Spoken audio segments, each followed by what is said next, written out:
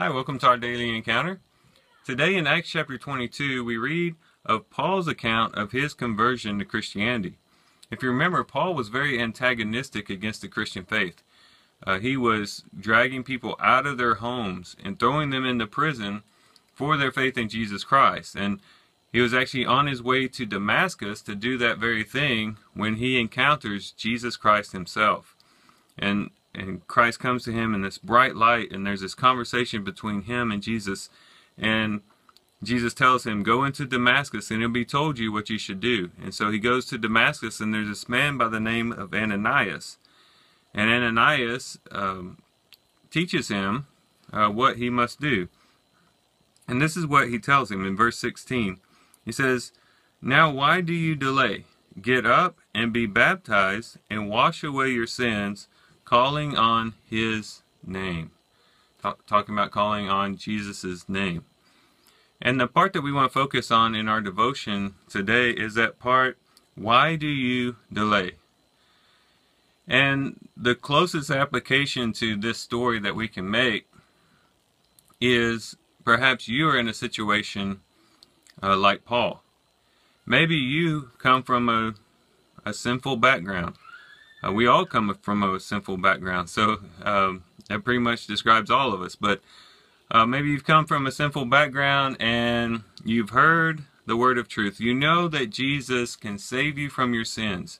You know that if you would but turn to Him, you could have your sins forgiven. You could have your sins washed away, as Ananias tells uh, Paul here.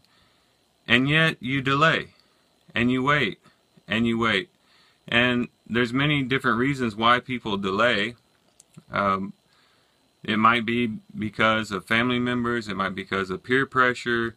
Uh, it might be because of uh, fear of having to give up something that you that you love. Uh, who knows? There might be a lot of things that are causing uh, different people to delay. But the thing is, is that this same word that Ananias gave Paul is the word that I would give you today. Why do you delay? Why delay? What can you give in exchange for your soul? Jesus once said. What can you give in exchange for your soul? What is so valuable that you would lose your soul, your eternal destiny, over? Why would you delay? Why would you wait? You know, none of us are guaranteed tomorrow. None of us are really guaranteed the next five minutes. Um, death is always lurking around the corner. Uh, Jesus could come again at any moment. Uh, we just don't know what our lives will be like in the next moment, in the next day, in the next week, in the next year. So we got to make take advantage of the present and take it take advantage of the fact that we are alive today and that we have a chance to make a choice and to make the right choice to turn to Jesus, to arise and be baptized and wash away our sins, calling on his name, calling on the name of the Lord. And so if you're in that situation, I would just encourage you, don't delay. Don't delay any longer. Don't put it off. Come to Jesus today. But now, I would like to turn the attention to the Christian. Uh, just when you thought maybe you were getting off the hook, now there's instances where even us as Christians delay.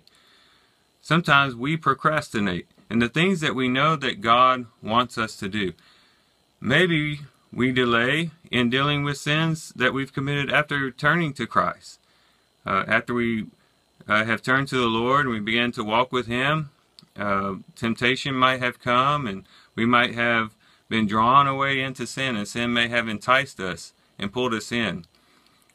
But we stay in that place and we stay and we stay and we stay. And the question for us is the same as what the question was for uh, for Paul by Ananias. Why do you delay? Get rid of that sin. Repent. Turn back to the Lord. Confess your sins to him. First John chapter 1 says that if we confess our sins he is he is faithful to cleanse us from all unrighteousness.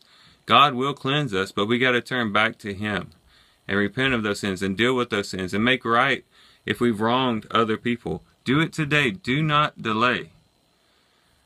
But there also might be some things that you know that the Lord is is calling you to do.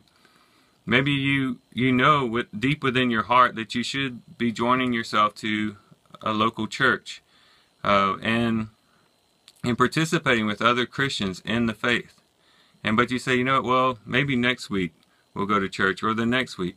Why do you delay?